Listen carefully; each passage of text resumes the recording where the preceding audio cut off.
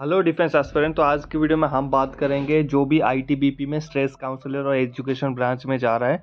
हमने आपकी जो न्यू सिलेबस का वीडियो आपको दे दिया। आज की वीडियो में हम बात करेंगे आपकी फ़िज़िकल उसके बाद आपकी मेडिकल उसके बाद आपकी जो इवेंट्स होगा उसके बारे में। मेनली फ़िज़िकल स्टैंडर्ड टेस्ट और physically efficiency test physical efficiency test उसी को बोलते हैं, जहाँ पर आप बोलते हो, सर, कितना रनिंग होगा, कितना लॉन्ग जंप होगा, कितना हाई जंप होगा, लड़कियों के लिए क्या होगा, लड़कों के लिए क्या होगा? और फ़िज़िकल स्टैंडर्ड टेस्ट मतलब क्या आपकी जो फ़िज़िकल स्टैंडर्ड है, यानी आपकी जो बॉडी स्ट्रक्चर है, ये सोल्जर्स लाइक है कि नहीं, आपकी हाइट वेट चेस्ट एक सोल्जर्स लाइक है कि नहीं, उसको हम फ़िज़िकल स्टैंडर्ड टेस्ट बोलते हैं, ठीक है?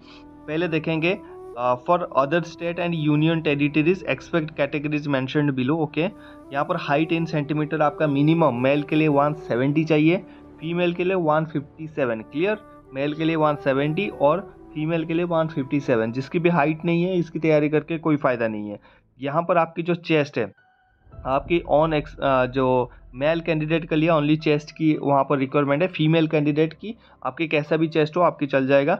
यहाँ पर मेल कैंडिडेट के लिए 80 आपका मिनिमम वहाँ पर चेस्ट होना चाहिए, नापने के बाद 80 होना चाहिए और 5 सेंटीमीटर एक्सपेंसन होना चाहिए जब आप चेस्ट को फुलाएँगे तो 85 आपके लिए होना चाहिए, ठीक है? इसके बाद ना कुछ एक्सेशनली केस यहाँ पर दिया है कि जैसे मान लीजिए तो कैंडिडेट जो गढ़ गढ़वाली है, कोमानीज है, गोरखाज है, डोगराज है मराठाज है, उसके बाद Sikkim, Arunachal Pradesh, Nagaland, Manipur, Tripura, Mizoram, Meghalaya, Assam, Himachal Pradesh, Kashmir, region of union territories of Jammu and Kashmir और लद्दाख। इन जो स्टेट की है, इनकी जो हाइट थोड़ा सा कम रहते हैं, पहाड़ी इलाका के रहते हैं तो इसीलिए इनको थोड़ा गवर्नमेंट रिलैक्सेशन देता है। तो यहाँ पर 165 सेंटीमीटर बॉयज़ के लिए 155 गर्ल्स के लिए लेकिन 80 और 85 जो चेस्ट है, वो बराबर आपका चाहिए, ठीक है? या उसके बाद आपका जो for candidate belong to schedule type जो एसटी कैंडिडेट है इंक्लूडिंग मिजोज एंड नागाज इनको भी है, और जो एसटी कैंडिडेट है तो यहाँ पर आपकी जो हाइट है, और ज़्यादा छूट मिलेगा आपको। लड़का हो तो 162.5 और एसटी आपकी कास्ट हो तो आप बिल्कुल अप्लाई कर सकते हैं।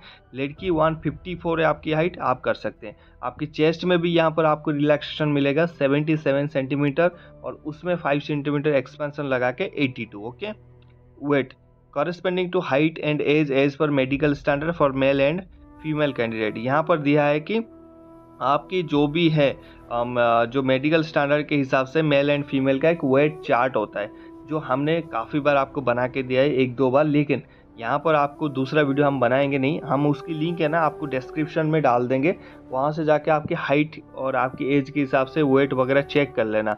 अगर उसमें कुछ और डाउट्स है, आप मुझे डायरेक्ट पूछ लेना कमेंट्स में या कैसे भी करके पूछ लेना, उसकी जो लिंक है, मैं आपको डिस्क्रिप्शन में डाल रहा हूँ, ठीक है?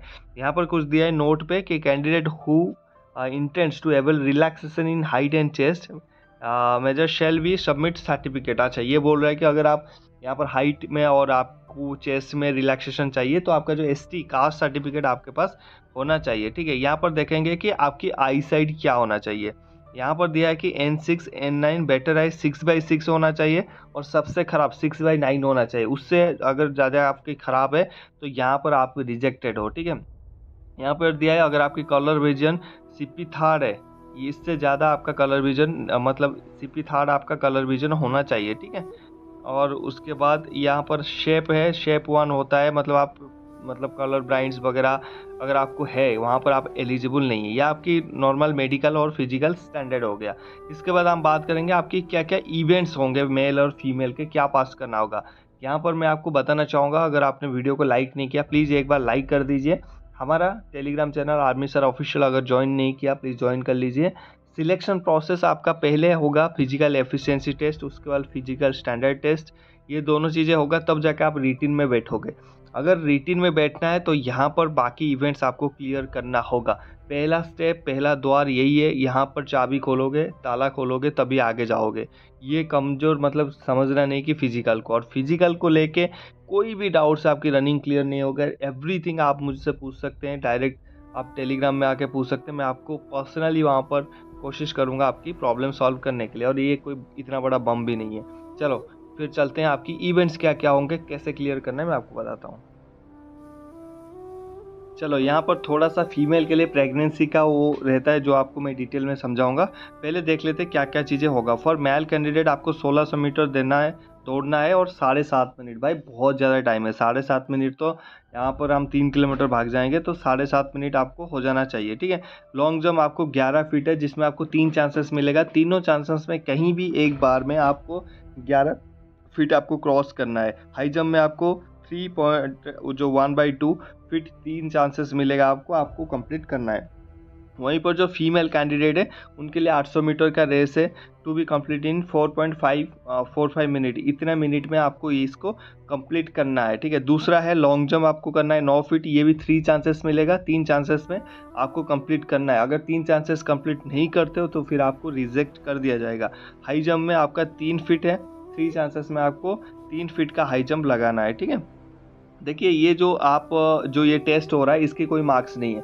इसको सिर्फ़ क्यू ग्रेड लाना है, यानी क्वालिफाई करना है। जो तीनों टेस्ट है मेल के लिए, तीनों टेस्ट है फीमेल के लिए, ये सिर्फ़ क्वालिफाई ये सिर्फ़ आपको दिखाएगा कि हाँ आपकी वो फ़िज़िकल लाइक स्टैंडर्ड है फौज में सर्विस करने के लिए, क्योंकि I Indo Tibetan border police एक फौज लाइक सर्विस है, ठीक है?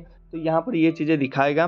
और आगे जाके यहाँ पर एक चीज़ और है गर्ल्स के लिए अगर आप वहाँ पर जाने के बाद अगर आप डिटेक्ट होते हो प्रेगनेंसी हो आप प्रेग्नेंट हो तो वहाँ पर आपको अनफिट कर दिया जाएगा फर्दर आपको वहाँ पर नहीं दिया जाएगा ठीक है इसलिए अपना प्रेगनेंसी सर्टिफिकेट वहाँ पर लेके जाना यहाँ पर बिल्कुल क्लियरली बताया मैं आपको दिखा देता हूँ on reporting on female candidate for PT or PST, a self-declaration indicating about her pregnancy status will be submitted.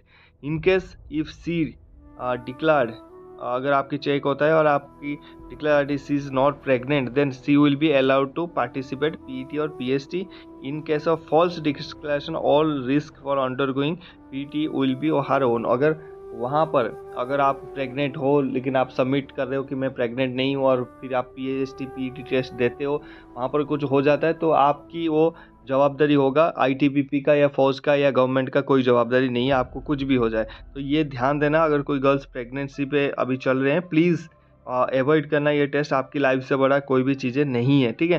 तो ये चीज़ें आपको फ़िज़िकल टेस्ट में क्लियर करना है। तभी क्लियर करोगे, उसके बाद फिर रिटिन टेस्ट आप जाओगे, ठीक है? तो ये इंपॉर्टेंट है।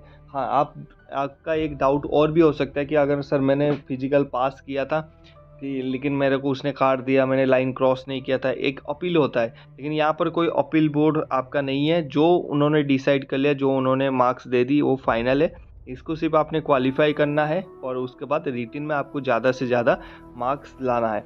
इसकी हिसाब से मैंने आपको सारी चीज़ें कवर कर दी। अगर आपकी और कुछ डाउट्स है, आप नीचे कमेंट करिए। मिलते हैं नेक्स्ट टॉपिक में। जय हिंद।